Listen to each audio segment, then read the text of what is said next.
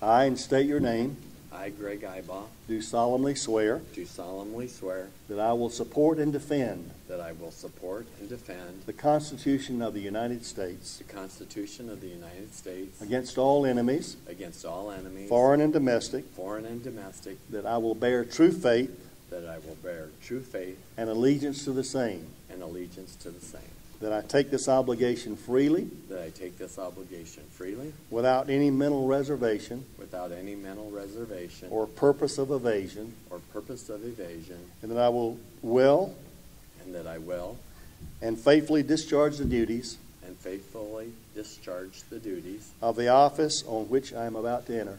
of the office of which I am about to enter. So help me God. So help me God. Congratulations, Undersecretary Greg Ibach.